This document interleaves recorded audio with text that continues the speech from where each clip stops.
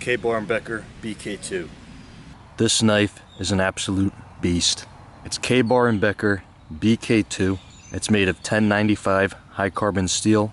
It's a super thick blade and comes with a nice plastic sheath that snaps really nicely.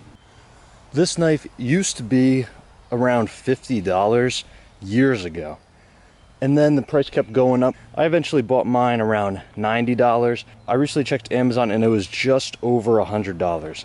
It's definitely gone up in price, but a lot of stuff has gone up in price. I've checked the prices of multiple knives I've had and they've all gone up in price. For $50, this knife is a steal. But right now, from 90 to $100, it's still a really good knife. It is a knife, but it's really just a wedge of steel.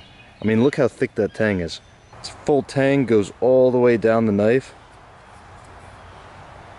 It's a quarter inch of steel. This knife is ridiculously thick. Super durable, but that also means it's heavy. You probably could never break it no matter how hard you tried. But if you were to carry this around, it is pretty heavy. This is a Mora, which is a great knife for the price. And just to compare the tangs, look how much thicker it is. There's really no comparison.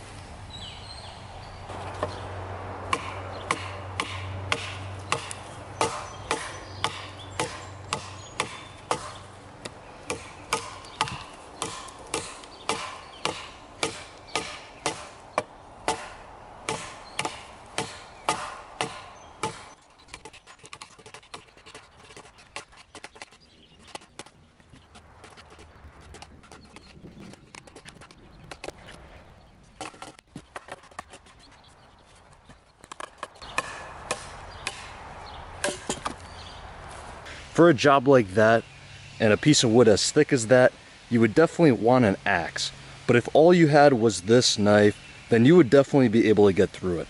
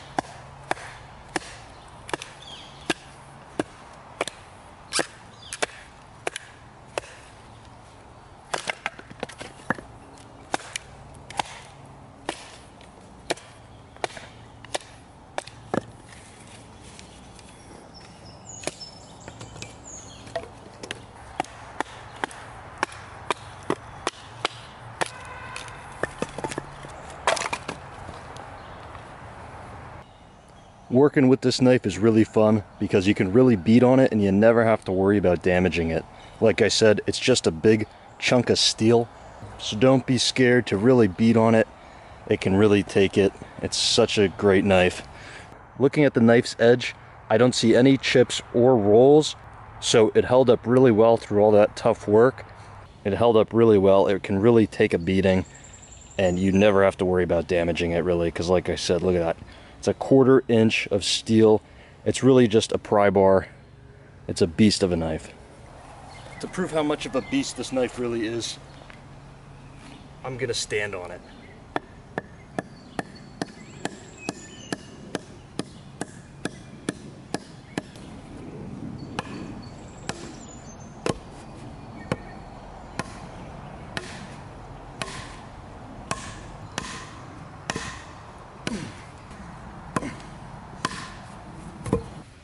I weigh about 190 right now, so let's see, 190 pounds on the knife. I can stand here all day.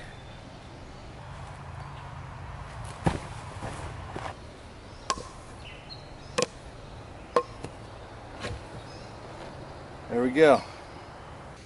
And it has a really nice heat treat on it, so it's not going to bend either. Uh, it would snap before it ended up bending, but with steel this thick, you're probably not going to have to worry about it. And it supports 190 pounds. Obviously, you just saw it. It could probably support more, but I only had a couple cheeseburgers yesterday, so we won't be able to tell for now. Well, we know it can handle some hard tests. What about some finer stuff, like making some feather sticks?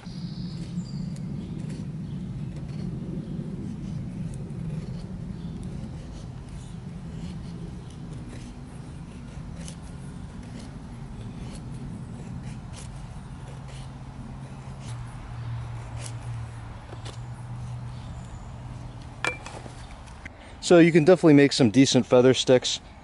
You know, it doesn't need to be anything fancy, but it does an okay job there.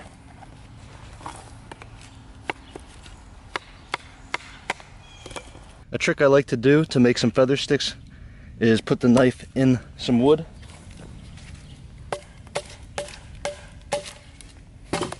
Bang it down a little bit. And you can pull the wood on the knife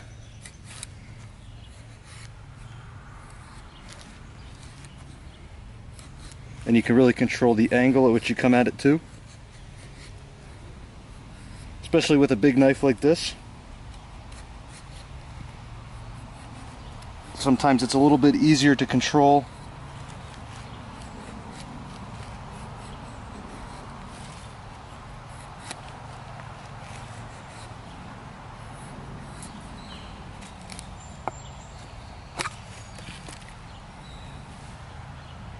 As you can see, it works really well. And then you can just pull your knife out when you're done. The last thing I like to test is if it can scrape a fire steel. So I got some dryer lint here and a ferrocerium rod and I'm gonna scrape with the fire steel. Now the knife, this knife comes with a coating on it on the back so it might not so it might not scrape really well right away but once you get rid of a little of that coating and it's metal on metal it'll be it scrapes it a lot better. So let's see. As you can see, it's not really scraping well. I haven't really used this knife for uh, scraping a fire steel before, so let's do a little modification. I'm just gonna scrape it on this rock here, get rid of some, some of that coating.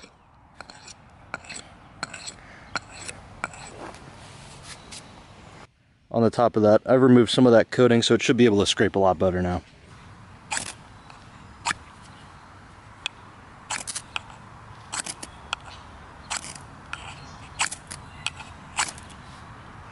Right, it was a little tough, a little rough, but it got going.